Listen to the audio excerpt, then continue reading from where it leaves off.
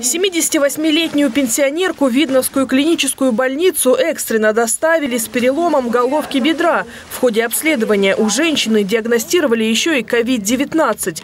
Заведующий травматологическим отделением Ибрагим Абакаров немедленно ее прооперировал с применением малоинвазивных методик. Сегодня больная чувствует себя хорошо, уже может двигаться самостоятельно. Параллельно врачи лечат ее от коронавируса. Сейчас уже сама ложится и сама садится. Да.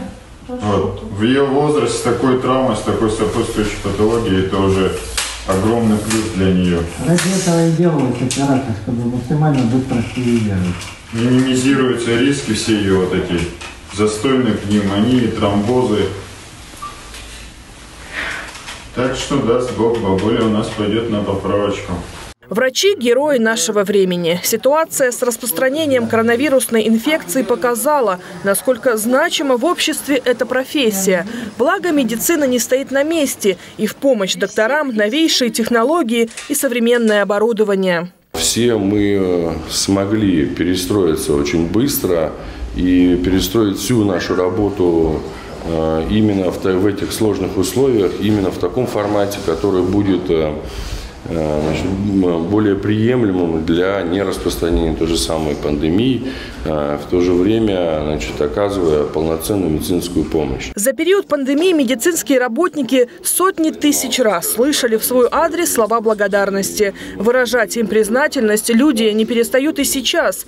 Более 50 врачей на днях приняли участие в торжественном награждении и были удостоены почетных грамот. Дай вам Поздравляем, Стоите, в общем-то, на передовой, и все это прекрасно понимают. От вас зависит не просто многое, от вас зависят жизни людей. Это героическая профессия, и люди иногда берут на себя те беды и проблемы, от которых спасают своих пациентов. Высоко отметили заместителя главного врача ВРКБ по амбулаторно-поликлинической сети Елену Зинатулину. Она получила почетную грамоту от Министерства здравоохранения Московской области. Наша профессия является э, ну, такой высоким служением перед э, здоровьем наших людей. Уменьшается количество зараженных коронавирусом, но работы у врачей меньше не становится. Они самоотверженно продолжают бороться за каждого пациента. Мы в силах им помочь, если будем следовать элементарным правилам личной безопасности.